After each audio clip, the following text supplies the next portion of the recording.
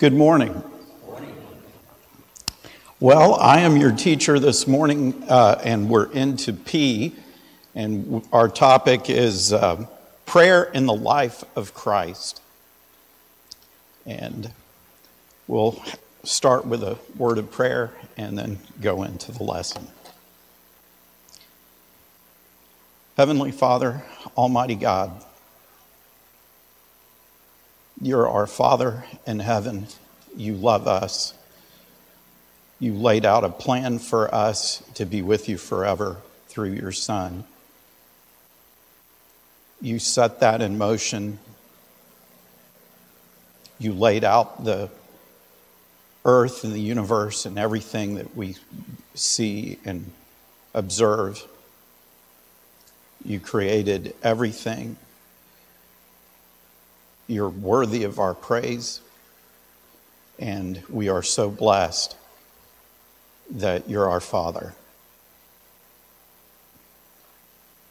If there's anything that, that we've done that would separate us from you, we pray about that now. We ask for your forgiveness. To, and we pray that you'll restore our relationship with you and that you will forgive us of those things. Thank you for giving us this time through our elders and through your word to be together with others of like minded faith who believe in you as, as each of us does. And, and we seek this morning to encourage each other in prayer. So be with us this morning and help us encourage each other with our words and, and our thoughts on this really important topic. And these things we pray in Jesus' name. Amen. So, be with me this morning. Um, it's been a couple months since I've stood in front of a group of people with the intention of teaching. Uh, I'm a public school teacher, by the way. Um, it's a little bit uh, different crowd than um, those uh, sophomores that I'm used to. Um, I won't have to, sir. yes, sir. Although, you know, they fall asleep too, so we'll all be on guard. all right, so prayer the small groups have kind of hit this topic recently, which is good. And I'm going to do something that I don't think I've ever done when I've taught uh, here at church. And um, that would be I'm going to ask you guys a question right off the top. This is a, a study question. I know the answers. You should know the answers too. So, uh, Let's see if you can get this. Um, what are the three critical elements of prayer? The three critical elements of prayer. We covered this in a recent small group. Three things.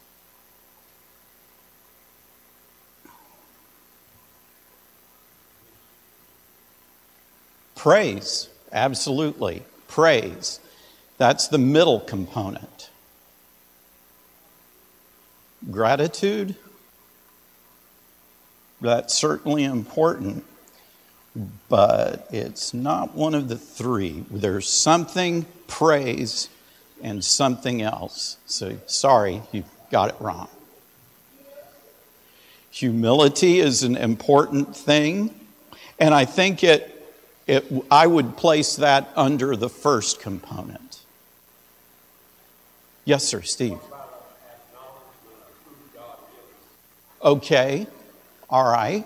You're getting, we're in the ballpark. About this. Um, being thankful, absolutely. Uh, I have one, I have several, I have numerous of these. And um, one very important uh, one is currently out in California, and I'm really quite amazed that I'm here this morning on time. I was actually early. But this person is very important to me. Love, oh, I certainly do. Absolutely, you betcha.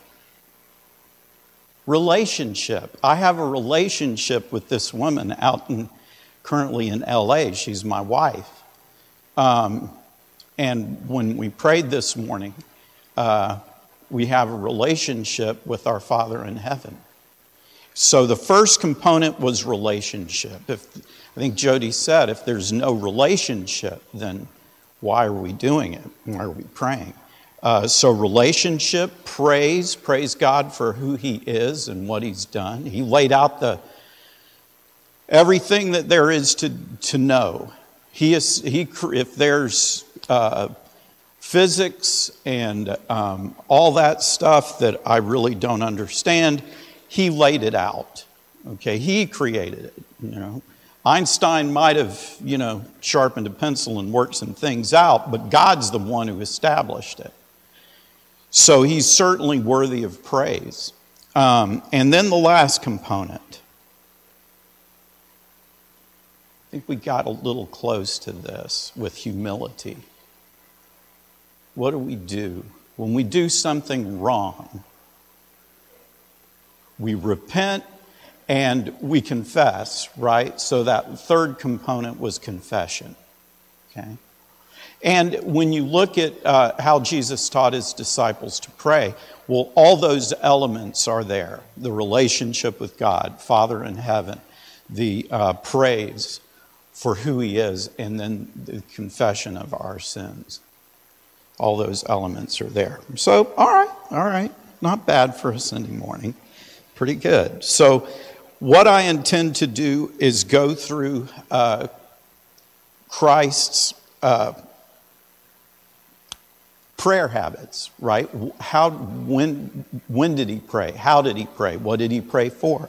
And we'll go through that and um, the scripture here that I have before me. And um, then uh, maybe in the last uh, part, we'll. Um, explore what makes us different, right? What are some of the things that would make our prayer life as we try to imitate Christ? What are some things that would hinder our uh, endeavor there? And um, then I'll close with a, uh, a encouraging passage that I thought of last night. Okay. So let's start with uh, at the beginning, right? When Jesus began his ministry um, at his baptism. In Luke, uh, the third chapter, verse 21. Now it came about when all the people were baptized that Jesus also was baptized. And while he was praying, heaven was opened and the Holy uh, Spirit descended upon him in bodily form like a dove, and a voice came out of heaven Thou art my beloved Son, in thee I am well pleased. So, right from the beginning, Jesus prayed. Uh, and at choosing uh, the naming of the apostles, skip on up to uh, Luke 6, chapter 12, or verse 12.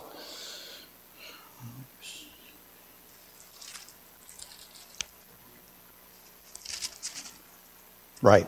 And it was at this time that he went off to the mountain to pray, and he spent the whole night in prayer to God.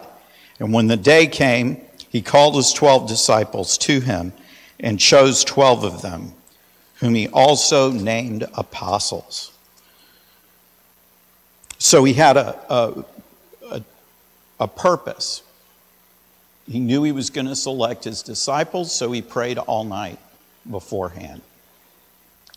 And he did this at a mountain. So he went off to a mountain to do that. Okay? Uh, when Peter confessed, Luke 9,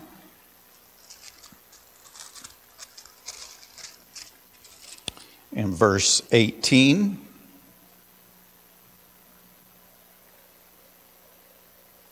And it came about that while he was praying alone, the disciples were with him, and, they, and uh, he questioned them, saying, What do the multitudes say that I am? And um, so he went out and he prayed alone, okay? He um, separated himself and prayed alone. At the Transfiguration, about eight days after these sayings, it came about that he took along Peter and John and James and went up to the mountain to pray. And while he was praying, the appearance of his face became different, and his clothes became white and gleaming. Um, then we'll skip up to Luke 22.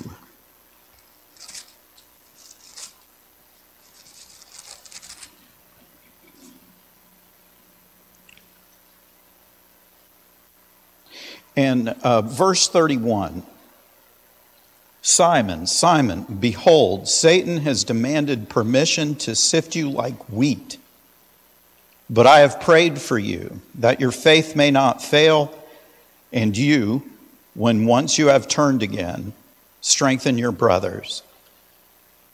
So he prayed and a prayer of intercession on behalf of Peter. And as I was studying this, uh, they also are, make the point that perhaps Jesus was praying. For, he mentioned Peter, but he could have been mentioning all of the disciples that perhaps Satan wanted to, you know, sift all of them, break them down, right? Uh, and um, that's really important to know that, that Jesus, he's, he's going to pray for us. He prayed for us. He prayed for them. I, I think he would intercede for us, right? And, and so, um, yeah, we can, we need that, everything that we can get to, you know, because we're going to make mistakes and we're going to get, uh, you know, the roaring lion is out there. And um, so, hey, uh, that's, you know, Jesus didn't just say, uh, hey, he's going to, he asked to sift you like wheat. It kind of, by what he said, he's going to succeed. He's going to, it's going to work. He's going to get to. But when you turn again, right, you can strengthen your brothers.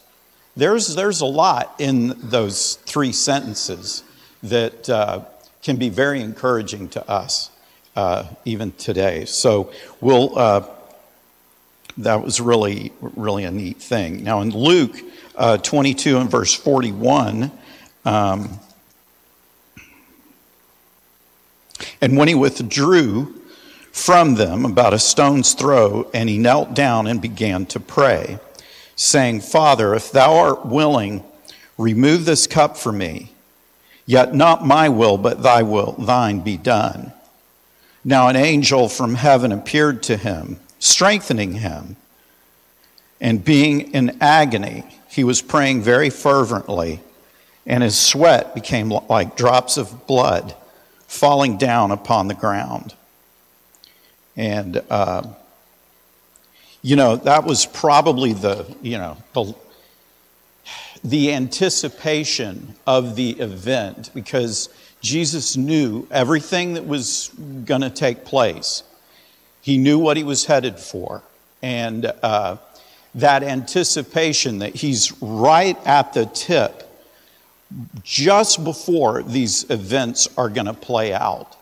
And I think that uh, I know I can k- kind of relate because it's, it seems to me that the, the most difficult part of, it, of like I used to go to Birmingham just about every other holiday. And it's an eight hour drive. I used to make an 11 hour drive to Washington, D.C. without even thinking about it. But that was when I was young. Now that I'm older, I, I see just driving down Maricamp between 22nd Avenue and Forest High School, the craziness that takes place. And it doesn't matter whether it's the morning or it's in the afternoon on the way home.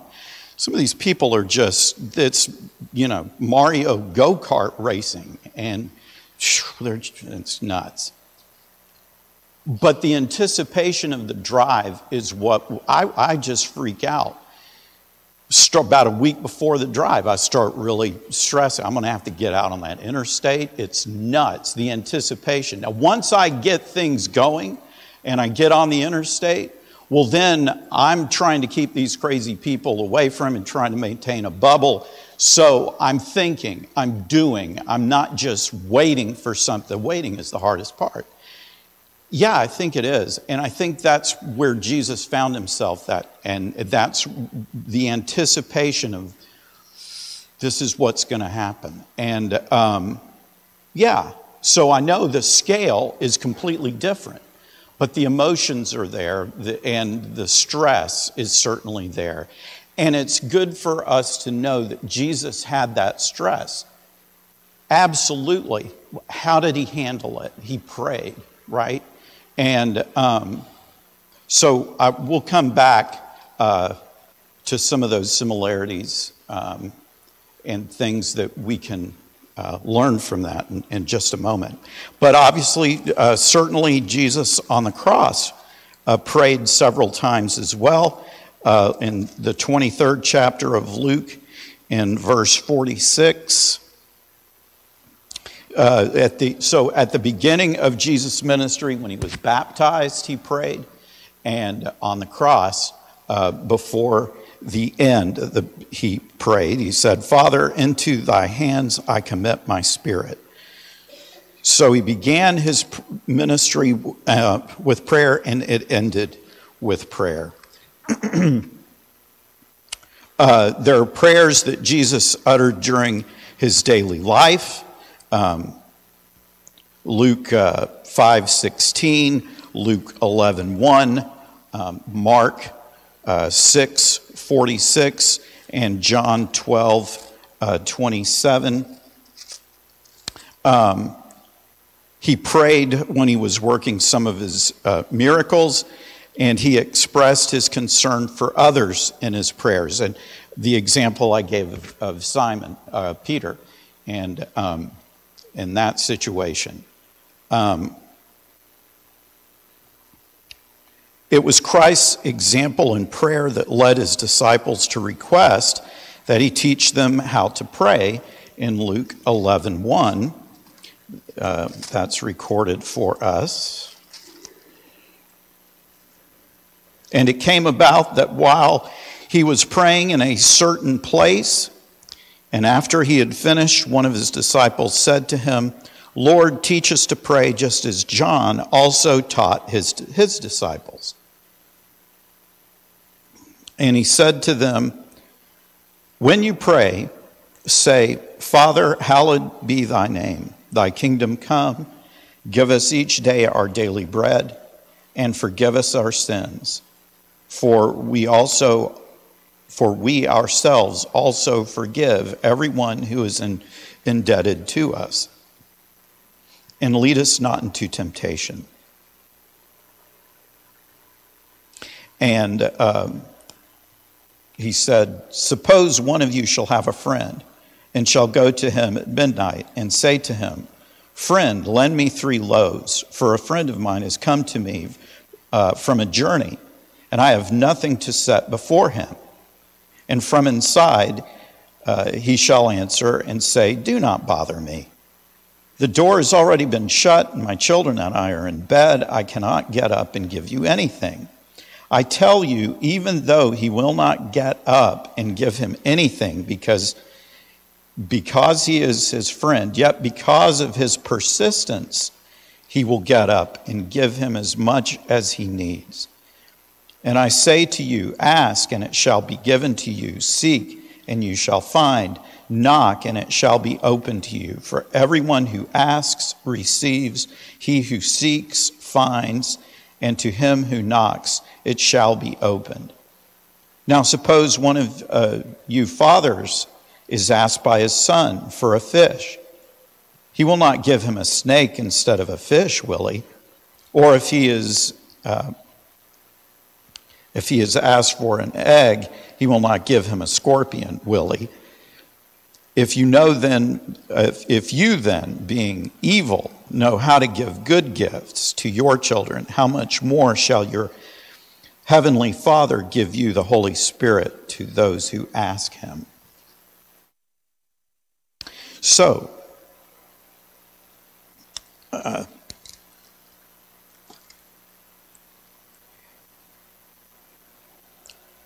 there's a, uh, the importance of um, the disciples uh, asking Jesus how to pray. And I thought it's kind of interesting that they mention uh, how John the Baptist taught his disciples how to pray. Um, so, hey, he did that for them. So, Jesus, why don't you do that for us? And, and we'll be like them in a way. It's kind of a, a very human thing uh, to do.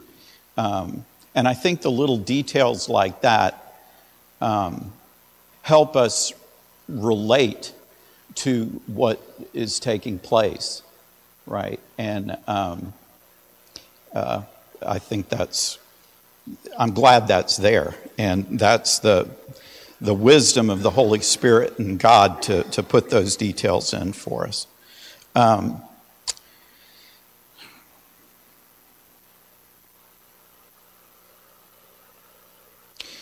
so, the secret of Jesus' quiet confidence and deep spiritual fortitude was his unrelenting practice of finding deserted places for prayer and meditation.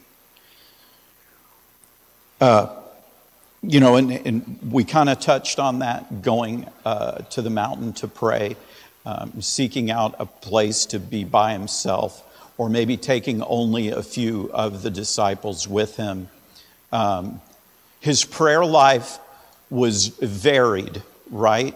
And um, I'll just go ahead and, and get this. Uh, I think certainly there's the relationship, the praise and confession and prayer. And I thought there's kind of three things in Jesus' prayer life that I pulled out from it as I, I studied it. And uh, what made Jesus different from us? Faith, uh, focus, and purpose. I think those are three things in Jesus' prayer life that really stand out to me. Um, and I think obviously faith is the bedrock principle upon which our whole uh, relationship with God is, is established. Uh, faith is, is that is the, the foundation. Um, if we don't believe that God is who He is, okay, then we're not even going to consider it. I mean, consider the, the world. They are so lost, they haven't even got a clue. It doesn't matter to them. It's foolishness. Everything that we're doing right now to a worldly person is just, it's foolish. Why even do it, right? There's no faith in there at all. There's no mechanism for belief. So, uh, as it stands, right? So, yeah, faith is everything. But, but here's the thing you say, well, you know, one of the cop outs, I think, for us is to say that, well, yeah, but he was Jesus. You know, of course he's going to have faith. Yeah, but you know what? Um, he had faith and he still prayed. He didn't take anything for granted with his relationship with God because God is worthy, right? God is worthy. He is who he is. He always has been and always will be. And, uh, you know, I read about um, all the things that we find out about uh, the universe and the creation and, and all of that. And it's like, no, it's, it's all of it's true. Um, I know Drew was, uh, Parks was mentioning uh, the scene in, in, the Star Wars films where uh, they're getting ready to entomb Han Solo in, in that carbonite. You freeze him basically in a, a, block of ice. And he says that famous line, uh, the Princess Leia says, I love you, and he says, I know, right? Which is really kind of a cool thing. But there's another line that Han Solo says in one of the more recent, not very good movies, but it's still impactful. Uh, he's meeting up the new hero. They meet Han and, and his buddy and, and the Millennium Falcon, if you follow this kind of stuff. But what he says to this aspiring Jedi is it's true. All of it. All of it's true. And he's seen it. He believes it. He knows it. And there's, it's there. It's as firm as the solidness of a planet, right? And that's where we are here. That's what pulls us here. It's true. All of it's true. Jesus, the, the Exodus, out of Egypt, Moses, all of it's true. Every last bit of it is true. And that is, that is the faith that we need to have. Uh, and, and striving to get that faith. And that's why we come here and study the Word, right? We examine it, and that is where our faith comes from. And I think the greater your faith, the more effective your prayer life. And I think that's what we want, right? Is a more effective prayer life. Hmm. Excuse me. Uh, because a lot of people, quote unquote, pray, right? A lot of people pray. That doesn't mean that God listens to their prayers. Yes, sir. You know, um, years ago, I really did an in-depth study in prayer. Yes, sir. I really did, like you. And I discovered 19 points concerning prayer. In other words, we could never get through this in a lot of study. But if somebody were to say to me, can you sum up prayer in a minute or two? That's all I got. Just, and you inspired what I'm going to say. God does not hear the prayers of the unrighteous.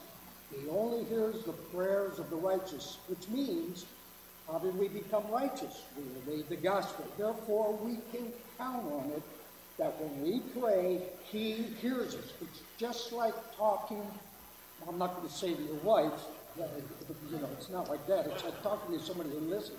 Yes, sir. But the other factor Indeed. is the most important part is he only answers prayers according to his will. And when we find out that his will is to, for us to be saved, therefore we can count on any prayer that we ask him for our salvation to maintain and stay within his guideline. He hears that. He'll give us that. He'll give us anything. Regarding other prayers, they may not be according to his will. Therefore, we don't get it because it could harm us. And the second most important thing about this is this. Why do the things happen to us that happen when we're praying? Because God causes all things to work together for our good, for those who are called according to his purpose and to those that love him. That's us. So if we're having problems, it's working towards our good. We have to believe that passage. And then we can be comfortable with our prayer and everything because we know it's all for our good. Right. Well, now what you've said will get me from faith or faith to my next point, which was going to be focus. And I think when I uh, was reading about Jesus' prayers, the second thing that stood out to me was his focus, his ministry right? His relationship to God, his relationship to his purpose. Um, and I'll get to purpose in a moment, but focus was the second one. So we've got faith, focus. Jesus was focused. There weren't any distractions. There were, wait, let me back up. There were a ton of distractions.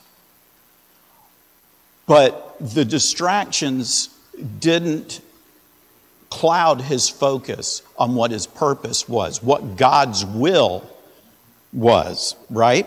So he stayed focused. The other thing, the third part, is purpose. And it could be okay, he's preparing to, to call the disciples. So he's the purpose. Let's focus on, on that purpose. Or it could be when he was in the Garden of Gethsemane, right? The purpose. I'm, I'm in stress. Uh, there's anticipation of what is about to begin. And uh, so the purpose, he focused on the purpose. And, um, and as I look at, uh, okay, so that's Jesus. Okay, what about us? Um, how does faith, focus, and purpose impact us in our prayer life? Okay? Um, so I want to ask what are some human qualities that interfere with our prayer life? Pride. Uh, give me an example.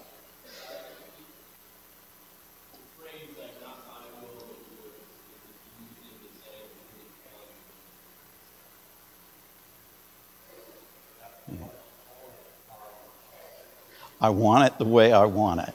Right. Yeah. Yes, sir.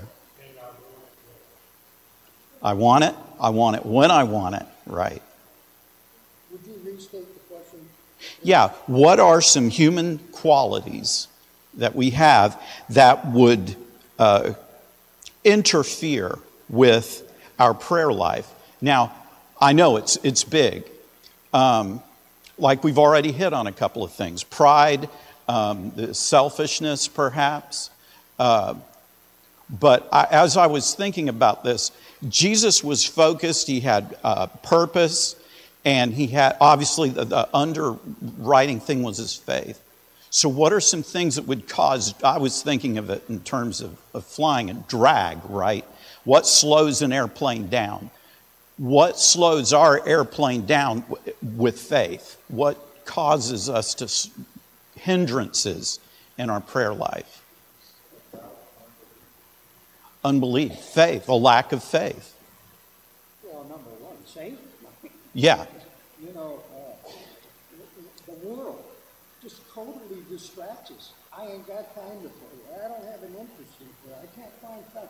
I mean, Satan has distracted us with everything that you look at in this world. So distraction. Right. And that's the first point that I had. Distractions of daily life. Um, you know, readiness in the military is everything right? And what does readiness mean? It means doing the mission, right? We spend all our time getting ready, getting prepared to do whatever our military task is, right? That's readiness. Everything, all the training is built on readiness. And what are things that would distractions from that? I mean, there's all kinds. And uh, so then you think another one would be self reliance, right? And that's what uh, I think I'd put Drew's comment in, in that category or that box about self reliance. Um, because every day we spend our time doing things, right? Once the, the stuff starts, right, and the waiting is over, and we start doing things, we're engaging with the world. We're engaging in our world, right? And all those distractions take away from our focus and our purpose. It's very easy to just absolutely get distracted and fall back on these human qualities that are seemingly forced upon us, whether it's through commercials or through uh, athletics which are, you know, athletics, that's a great endeavor. But there's a focus on, even with team, there's still a focus on self performance, right? and doing your best and making your decisions, right? It's ingrained in us that, that self reliance, right? I can do this. I can get through it. I can overcome this. And I think that subtle uh, worldly approach is a really devilish distraction for us and takes away from our focus on prayer the way Jesus focused on prayer. Linnell.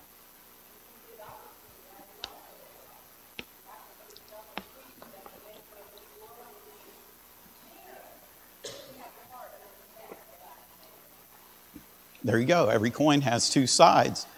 And, and there you go. That's the opposite side. So there's extremes in, in all this. Yes, sir. You know, isn't it true that anything we want in life, that we really want it, we pursue it really hard? Well, what about prayer? Do we really want it? Do we really pursue it? Do we have an interest in it? Uh, we can all answer that question from our own hearts. We're all individuals. We have different things that go on in our life. But the answer is, are you interested in prayer or not? Yeah. Do you pursue it or not? Right.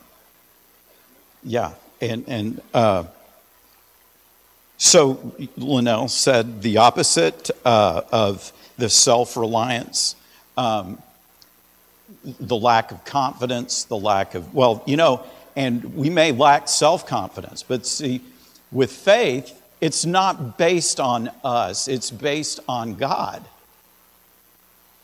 And so that's a shift in, in thinking that is really difficult to grasp if you're a human. Um, but we have Jesus' example, and even another great example is Paul. Uh, and Paul was able to have a very focused uh, prayer life, uh, I, I believe, as well. And he had the faith, it was built the same way that Jesus was built, if you will. Uh, but I think misguided intentions is a distraction. Our, our intentions may be decent, but they're, they're misguided because I think we start adding that component that, that you mentioned of God's will, right? And uh, how do our intentions in prayer line up with God's will? Okay? And uh, so our misguided intentions, um, discouragement, right? Uh, and I think discouragement can really be a hindrance to prayer uh, because we get these cliches in life, you know. And I am I'm a user of cliches. You know, head them off at the pass. I get the humor in it now, but look, we use cl- cliches or tools, but sometimes they are cliches and they're not good. And I think one of them would be uh, it leads to a mentality. Um, well, I've tried everything else. I guess I'll try prayer. Right? I mean, gee whiz. I mean, you're kind of defeated before you even start with that. The other one is uh, uh, there was a book on a wing and a prayer.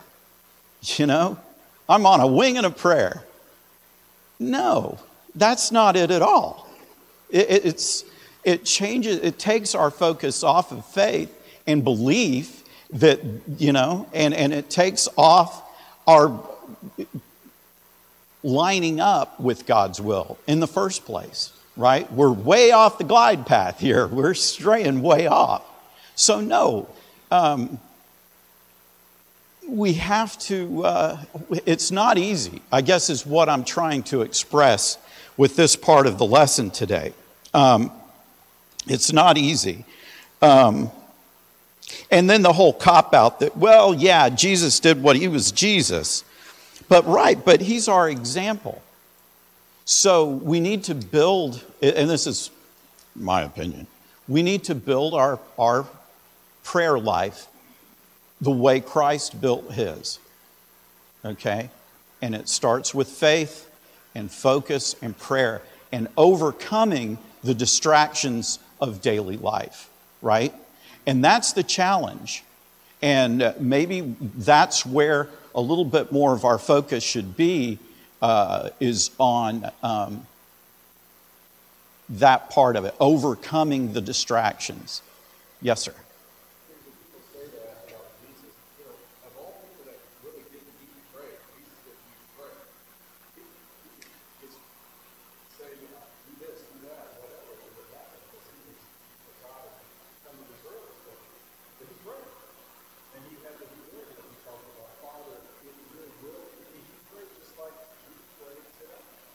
Right.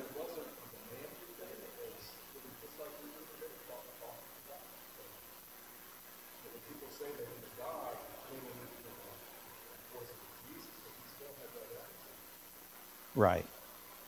And I think that's the, the basis for our approach is, um, you know, I had some, some bad habits, and we were talking about this in the small group, and um, I think it was the same lesson that uh, we talked about prayer, that we talked about uh, changing a habit, right?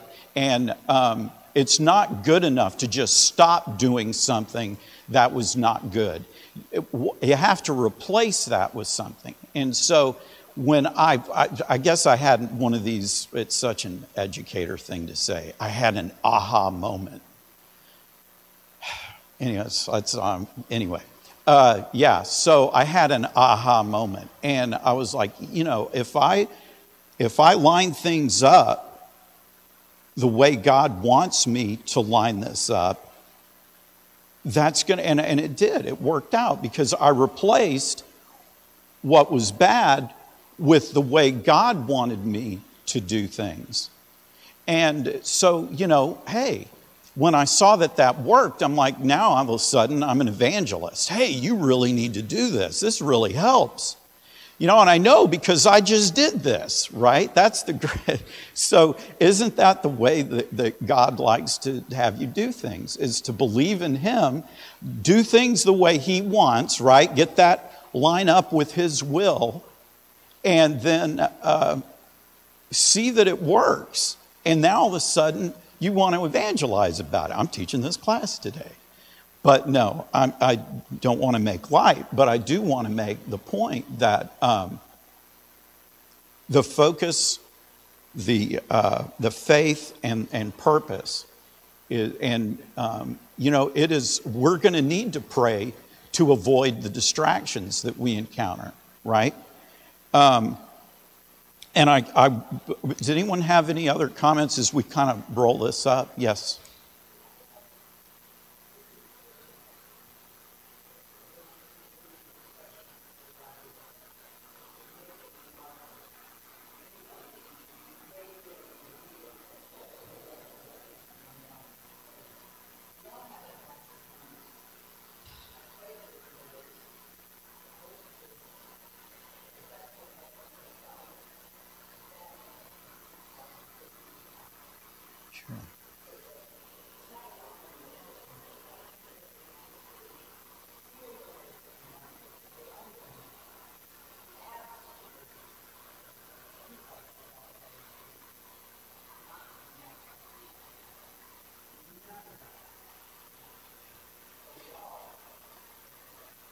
Right.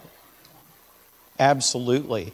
And the one thing that I kind of didn't get to, but it's certainly on the uh, in the lesson, was um, the publican and the uh, and the, the other guy, the, the poor, the beggar, and their prayers.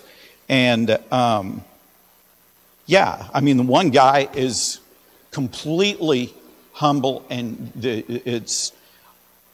I, I'm just lucky just to be able to talk to you. This right, and that's where uh, the the humility in go, in establishing the relationship um, that Jody had mentioned. Right, it's and that's a place. That's the starting place for faith is getting on your knees and just begging forgiveness. So thank you. Um, I just got